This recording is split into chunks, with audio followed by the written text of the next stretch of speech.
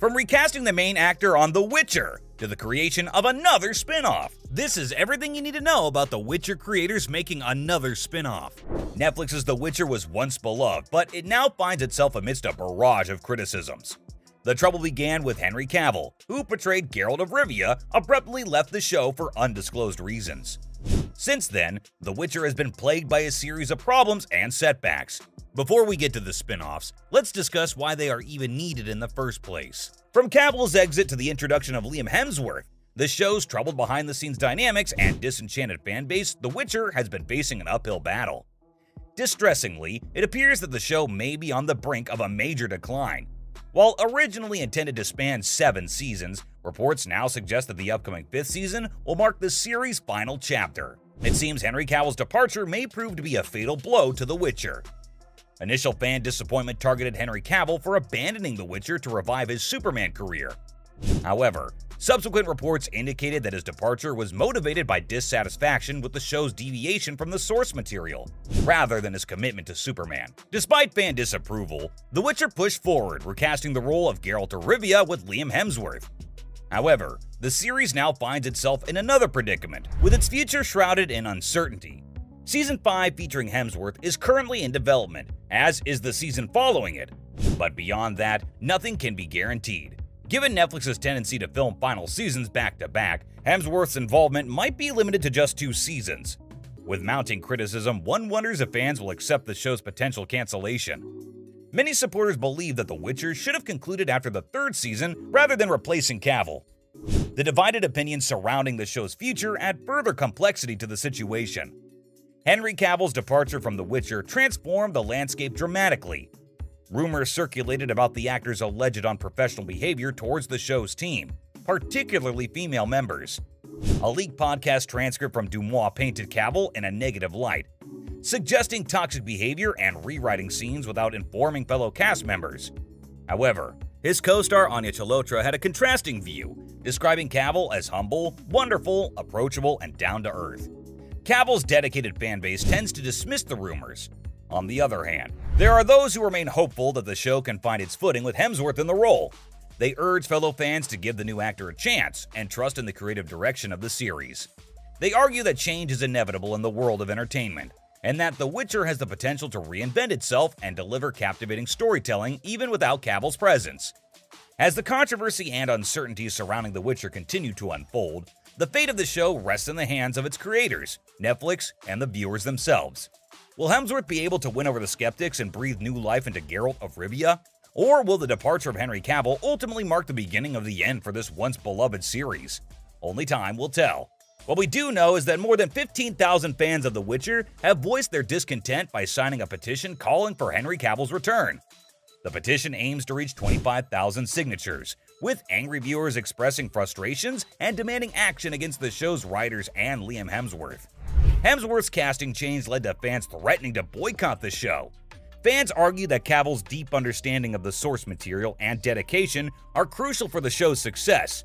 Henry Cavill will continue as Geralt in the upcoming third season before passing the role to Liam Hemsworth for the fourth season. The future of The Witcher will be defined by Netflix's ability to respond to fan feedback and address their concerns. The streaming platform has the opportunity to course correct, demonstrating their commitment to delivering a quality adaptation of Andrzej Sapkowski's fantasy world. Whether they choose to stick with Hemsworth or reconsider Cavill's involvement, it is imperative for the show's creators to regain the trust of the fan community and deliver a fourth season that honors the beloved source material. On a different note, the Witcher franchise is expanding with new live-action spin-offs. A new prequel exploring the Rats, a group of young Nilfgaardian misfits, is also in development to bridge the gap between the upcoming seasons. The Rats are a notorious group of young Nilfgaardian misfits featured in series storyline in the Witcher book series. In The Witcher Season 3, they will be introduced in episodes 7 and 8 when Ciri first encounters them. The Rats will also play a significant role in the upcoming Season 4. The new spin-off will explore the Rats' characters, but it is unclear whether it will be their origin story or their time with Ciri and before Season 4. Christelle Elwin is cast as Mistle, the first rat announced who will have a significant role due to her connection to Ciri. Fabian McCallum will play Kayleigh, known for his attempt to commit a terrible act in Time of Contempt and adopted son of the Castellan of Ebbing. Reef will be played by Juliette Alexandra, a Nilfgaardian who served the usurper before being wounded and abandoned on enemy territory and saved by Kayleigh. Aggy K. Adams is speculated to play Iskra, an exiled elf who joined the Rats. Asa, a blacksmith's son, and Giselher, the group's leader and oldest member, complete their Rats cast.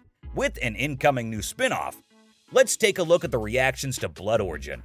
The Witcher Blood Origin has faced severe criticism from fans and critics alike, leading many to question what went wrong with this Netflix original series.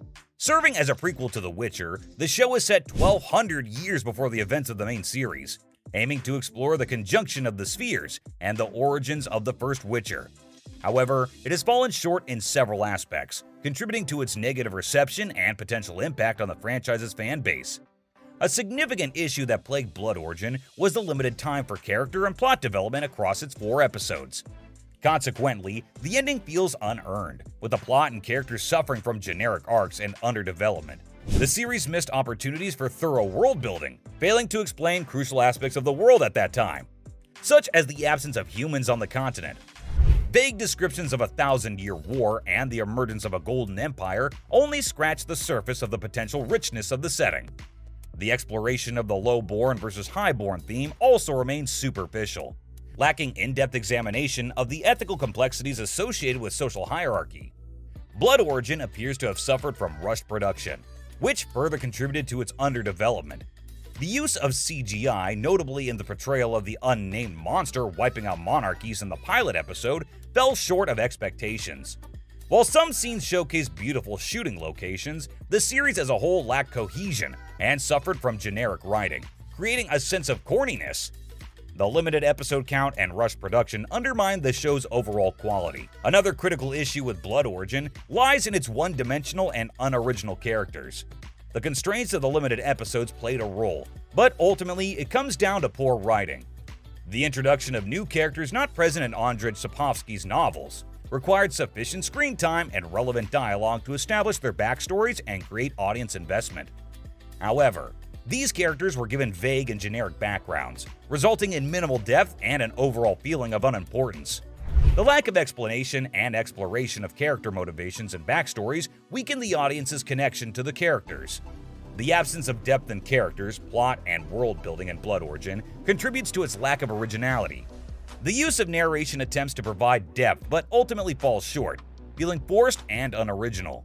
The show's themes are underdeveloped, contributing to the sense that the story lacks meaningful impact. The series ends up feeling like a collection of worn-out fantasy tropes, driven by a skeletal plot and failing to carve out its own significance. It falls into the familiar pattern of a group of outcasts fighting against an evil empire to save the common people.